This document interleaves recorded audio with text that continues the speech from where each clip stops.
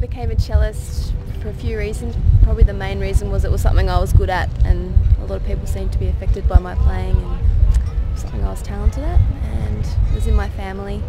Um, come from a musical family. Well, after doing my um, tertiary studies, I started up a business called Accent Strings with two other violinist friends and it just all went from there really. Started up my own teaching studio and just tried to get as much work as possible. I think over the years that I've um, learnt how to manage my time very well and I think I prefer being my own boss. Uh, I'm more of a, a leader rather than a follower so that works well for me. Um, and it's very flexible the hours so not, um, I can just drop everything and go on holidays, holidays if I want or it's um, very flexible. So I've done um, session work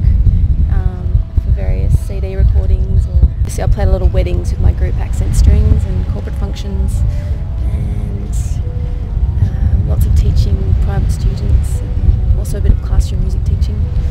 Um, it's a whole variety of things. You know, I could be playing in a church service one day and the next day on performing in a video clip for a pop band so it's very diverse. I've played with a variety of artists. Um, gosh, uh, the Veronicas, I did a film clip with them which was fun.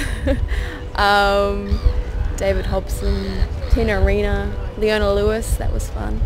Uh, who else? Iota, Faker, lots of different more indie rock bands.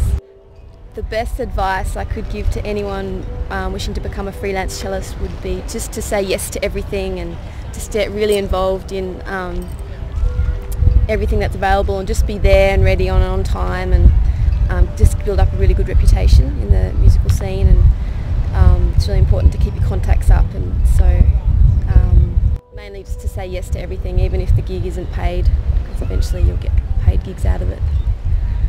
The music industry is quite competitive.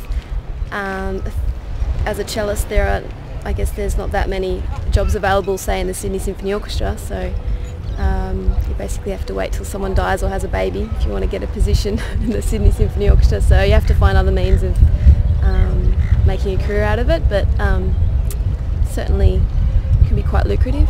I guess it's hard to you know put a number on how many hours I've I've dedicated to pursuing my dream um, but I guess it's just always been part of my lifestyle and growing up in a musical family and I mean obviously you do the hard yards, do many hours of practice as a child and then through university and um, and then it's just sort of part of my lifestyle attending concerts and rehearsals and performances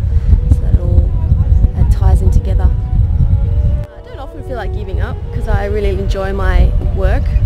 I guess in the past there have been times which have been harder than others so I guess my family have always been there to support me and uh, encourage me to keep going, pursuing my dream.